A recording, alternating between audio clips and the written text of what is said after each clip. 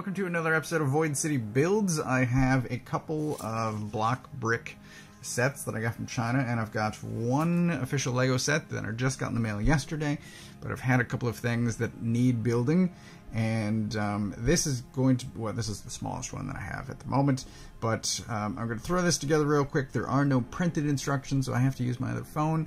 I'll be back to talk about this once it's done.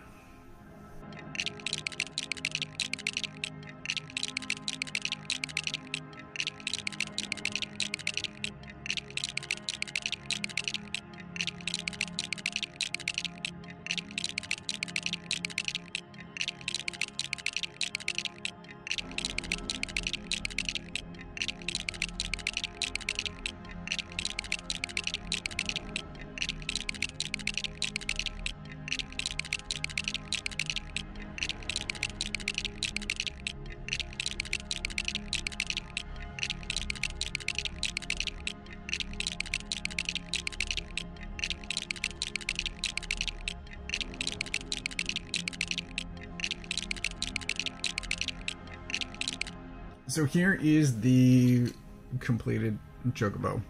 And as I talked about in a previous video, um, I I became a fan of the Final Fantasy series with 3 slash 6, depending on numbering system.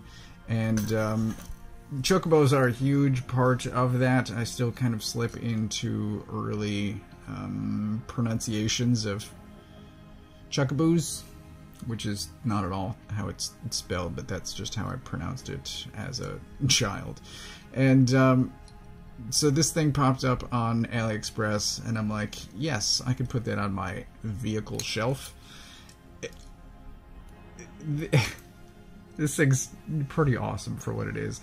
I kind of wish that I had a whole fleet of these because I did do all of the um, the racing in seven, so like a red one and a black one and a gold one but this is this is honestly cooler than I thought it would be. It's it's pretty cheap. The one thing I will note is the spacing down here.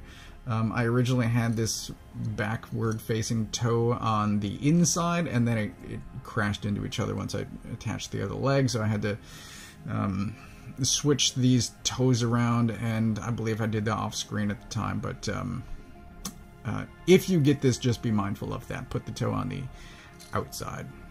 Um, other than that, this th this thing is is uh, very cool. Uh, the legs articulated, so it moves here, and it moves here, and it moves there. And you can get it into all sorts of poses. It's just a question of if he's going to be um, standing there, then you have to get the center of balance. So, whoops. That's all. And, um, yeah, this thing thing is far cooler than um, than I think it should be for like a ten dollar purchase. this, is, this is very cool. I'm very happy right now. So, um, I mentioned that I have a couple of other sets to build. Um, this was the shortest of those, and um, I will be back.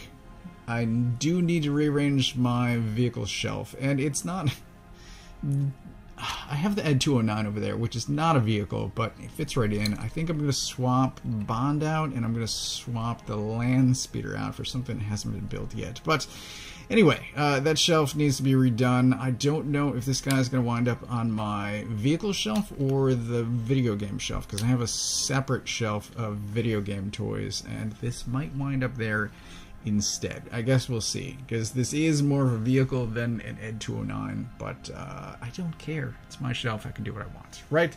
So, um, I will be back with more builds as soon as I find the time.